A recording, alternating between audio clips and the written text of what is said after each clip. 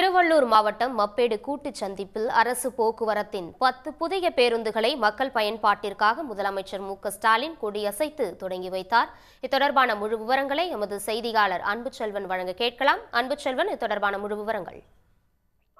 முதலமைச்சர் மு க ஸ்டாலின் அரசு உதவி பெறும் பள்ளியில் காலை உணவு திட்டத்தினுடைய விரிவாக்கத்தை தொடங்கி வைத்ததற்கு பின்பாக மப்பேடு கூட்டு சந்திப்பில் அரசு போக்குவரத்து கழகத்துடைய பத்து புதிய பேருந்துகளை மக்கள் பயன்பாட்டிற்காக முதலமைச்சர் மு க ஸ்டாலின் கொடியசைத்து தொடங்கி வைத்தார்.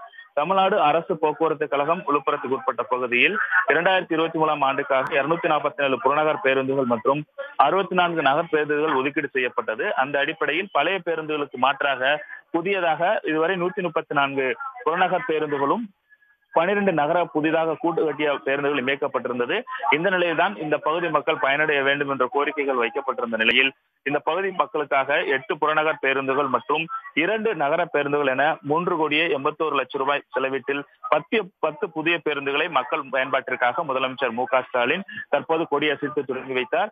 குறிப்பாக காலை உணவு திட்டம் என்பது மிகப்பெரிய ஒரு வரவேற்பப்பட்டிருந்த நிலையில் அரசு வ- பள்ளிகளில் தொடங்கப்பட்டிருந்தாலும் அரசு உதவி பெறக்கூடிய தொடக்க பள்ளிகளும் தொடங்கப்பட வேண்டும் என்ற கோரிக்கை வைக்கப்பட்ட நிலையில் அந்த திட்டத்தை தொடங்கி வைத்து செல்லக்கூடிய பகுதியில் மப்பேடு சந்திப்பின் போது இந்த பத்து புதிய பேருந்துகளை முதலமைச்சர் மு க ஸ்டாலின் மக்கள் பயன்பாட்டிற்காக தொடங்கி வைத்தார்.